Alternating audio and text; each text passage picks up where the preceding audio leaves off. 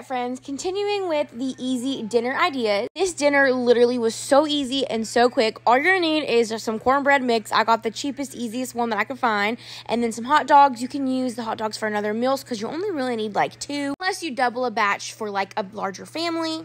All you're gonna do is make your cornbread just like regular, like the back of the package says. We couldn't find our measuring cup, so we used the scale to measure out our milk. And then in your greased cupcake pan, it'd be better if they were minis, but all I had was like the big size.